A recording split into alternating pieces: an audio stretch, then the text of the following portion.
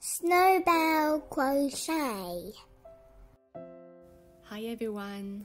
Today I'm going to show you how to crochet this lovely colorwork sweater for kids. I'll be using Red Heart's Baby Steps yarn in three different colors. But of course you can choose any color combinations of your choice, or simply use one color. It has a top-down design starting from the collar. And we'll be crocheting in the round for both the main body and the two sleeves with the bottom ribbing and the cuff ribbing crocheted directly onto each section.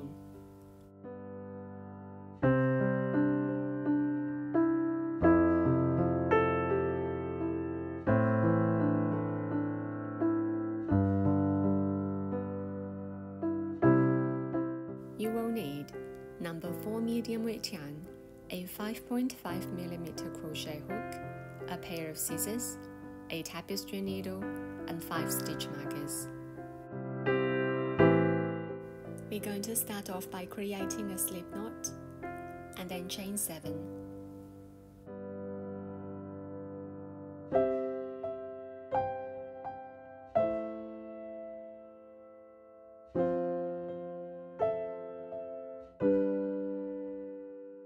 For row 1, slip stitch in the second chain from the hook.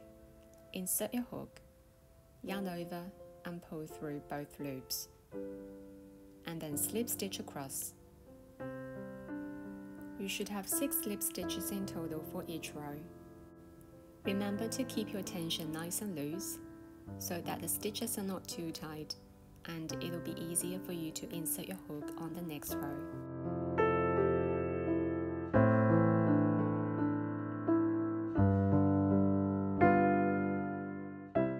Once you've completed row 1, chain 1 and turn your work to start row 2.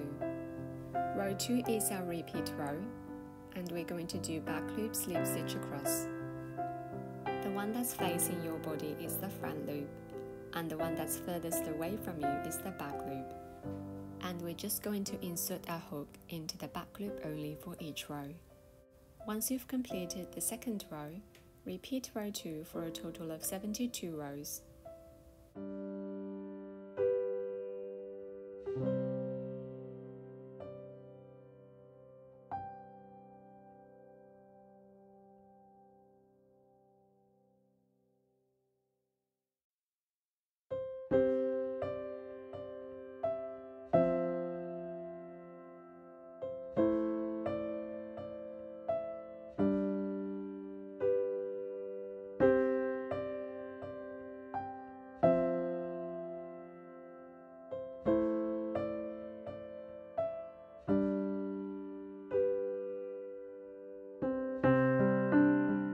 Slip stitch into the base of the first row to join.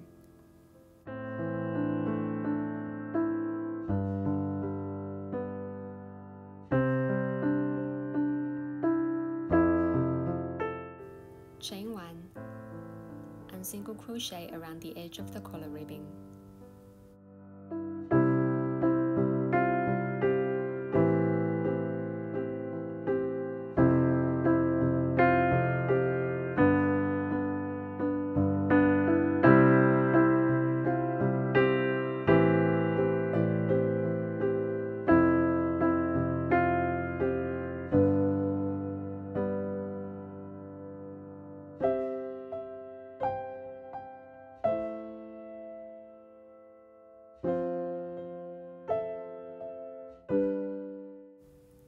Remove the stitch marker and slip stitch into the first single crochet.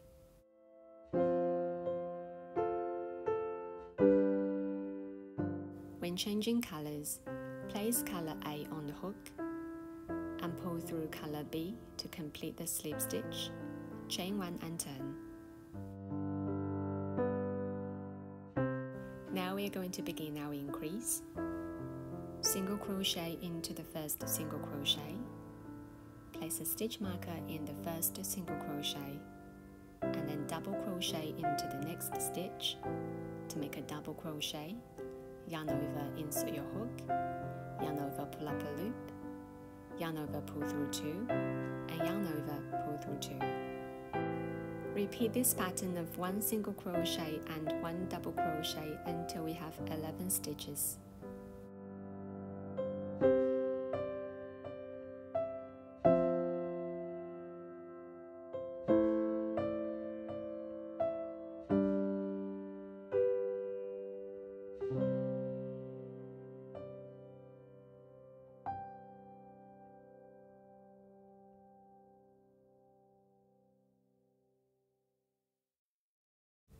I've done 11 stitches in pattern and my last stitch is a single crochet. Now I'm going to make the first increase by placing one double crochet, one chain and one single crochet all into the next stitch. And place a stitch marker in that chain one.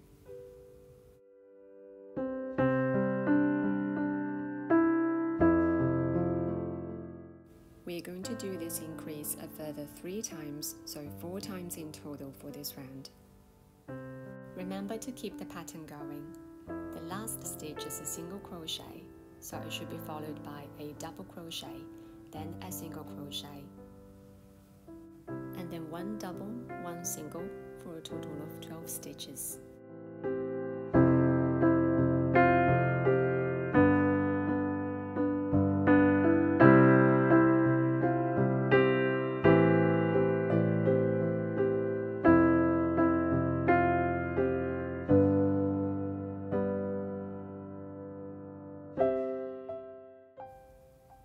Once you've made 12 stitches, place one double crochet, one chain, and one single crochet all into the next stitch and place a stitch marker in that chain one.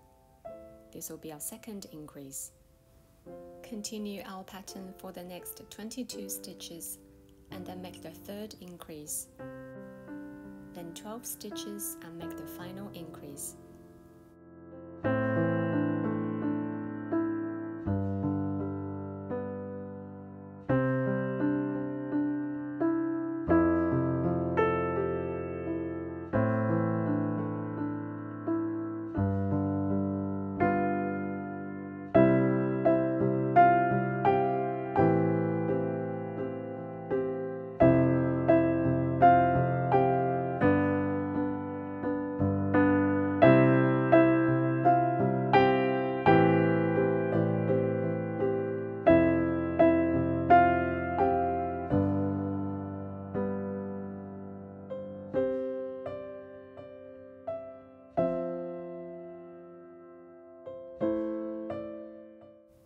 You will have 11 stitches left at the end. Simply work those stitches in pattern to complete this round. We are going to increase by 8 stitches for each of the following increase rounds. And I suggest counting your stitches at the end of each round. After round 1, you should have 76 stitches in total plus 4 chains. Slip stitch into the first single crochet. Place color B on the hook and pull through color C to start the next round. Chain 2 and turn your work. Remember to keep all your working yarn strands on the wrong side of the fabric, which is the inside of the sweater.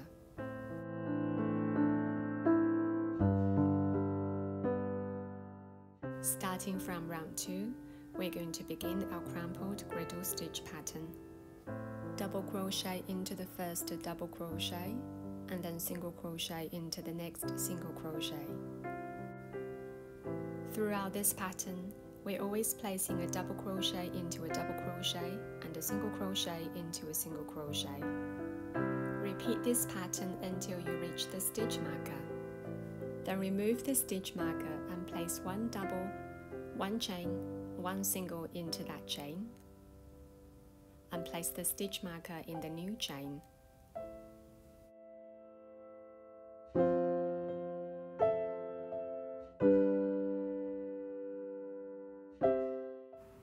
Continue this pattern around and increase when you reach the stitch markers at the four corners. At the end of this round, you should have 84 stitches in total plus 4 chains.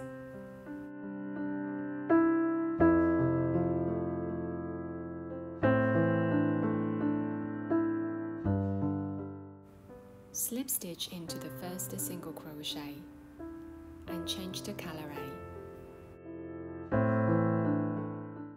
Throughout this pattern, if your next round starts with a single crochet, chain 1, and if it's a double crochet, chain 2, and then turn your work.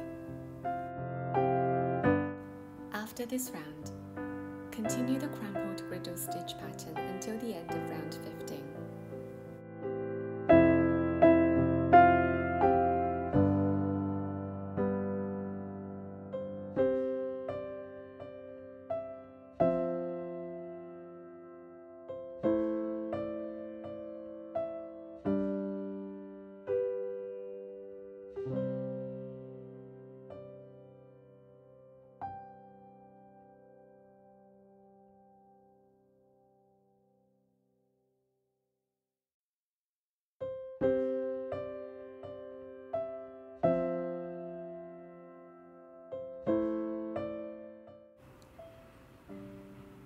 Round 16 is our joining round. Once you've made 26 stitches in pattern, remove the stitch marker and place a double crochet in that chain 1.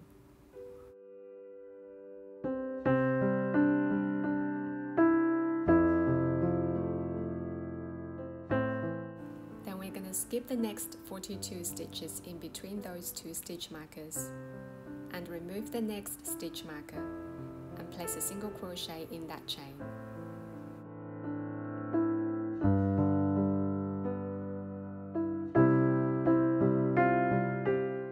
Now we've created the first armhole for our sweater and we're going to do another 52 stitches in pattern and do the same thing to create the second armhole.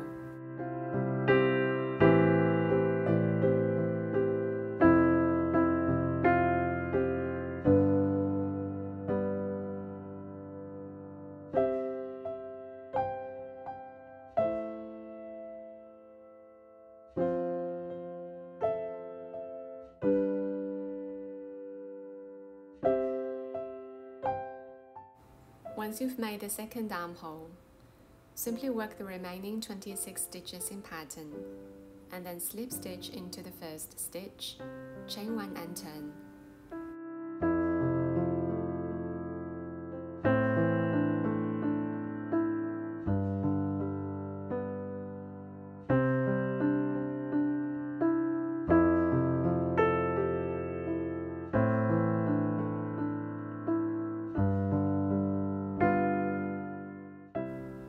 The rest of the main body is quite simple and straightforward. We're simply going to work in pattern for each round, and you should have the same amount of stitches at the end of each round. So for body round 1, we're going to start with a chain 1, and for round 2, we're going to start with a chain 2, and then repeat those two rounds for a total of 31 rounds or the length you desire.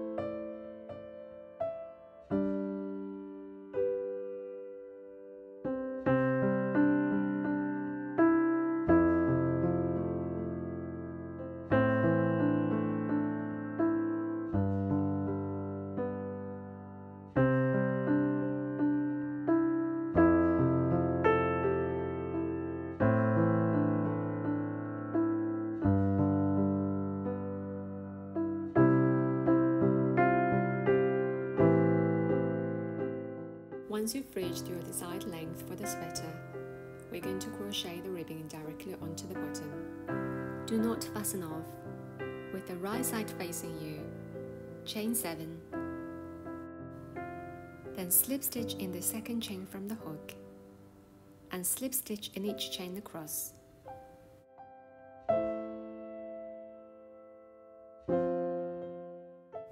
You will have 6 stitches in total for each row. Slip stitch into the next 2 stitches at the base of the bottom.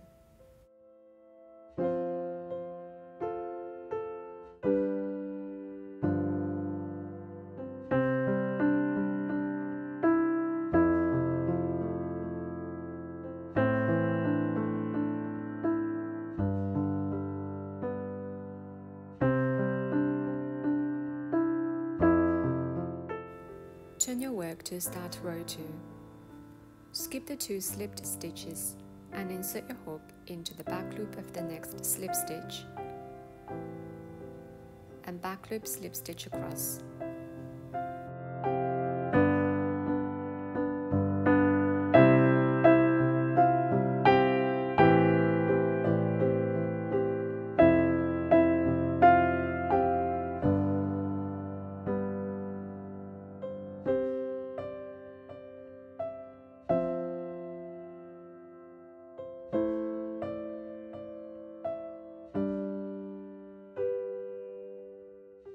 Turn your work to start row 3. Chain 1 and back loop slip stitch across. Then slip stitch 2 times into the next 2 stitches. After this row, repeat rows 2 and 3 around the bottom edge.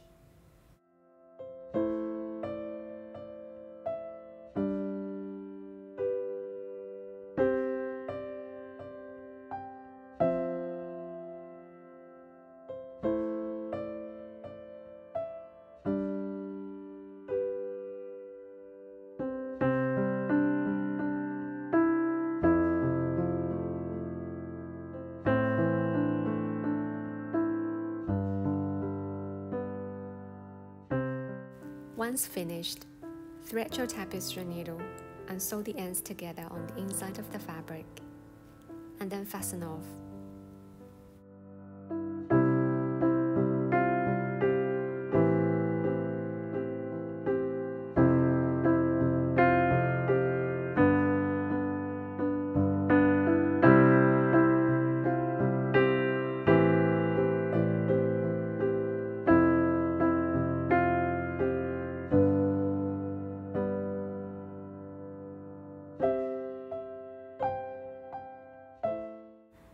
Next, we're gonna add sleeves to the sweater. With the right side facing, attach our yarn to the bottom of the armhole. For the first round, chain 2, double crochet into the first double crochet, and single crochet into the next single crochet, and then work in our established pattern around. The sleeves are constructed in the same way as the body. Just follow the written instructions and we're going to be working in a round for a total of 35 rounds and you should have 42 stitches in total at the end of each round.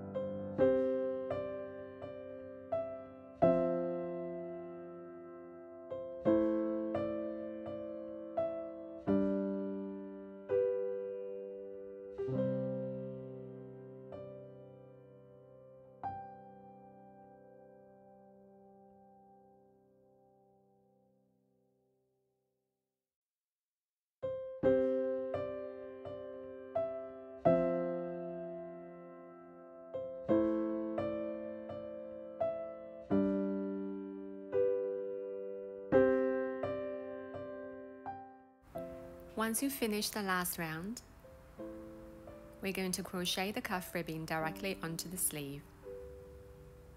Pull through color A, and we're going to work in the same way as the bottom ribbing. And once finished, whip stitch the last row to the first row on the inside of the fabric.